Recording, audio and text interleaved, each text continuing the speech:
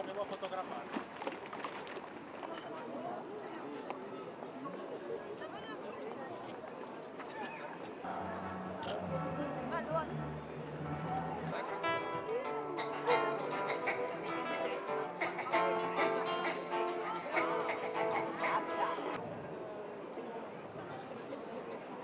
Mia kuvvetli kimya.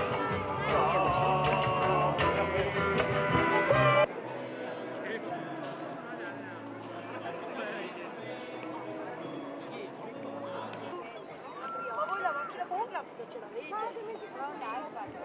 在别处，这里没有共产党。